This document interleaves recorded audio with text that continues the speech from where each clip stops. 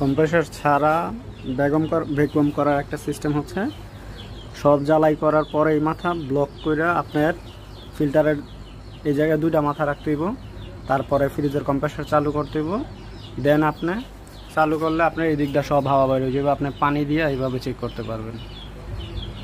ওকে, যখন এটা বন্ধ হয়ে যাবে তখন আপনি এই মাথা ব্লক করে দিবেন। ব্লক করে ফ্রিজ অফ করে গ্যাস দিবেন, গ্যাস দেওয়ার পরে পরে আবার চালু দিয়ে বাকি গ্যাস দিবেন।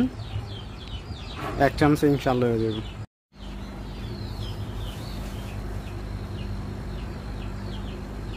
এই যে এখন বাইরে না, বেগম হয়ে গেছে, এখন ব্লক করে দেওয়া যায়।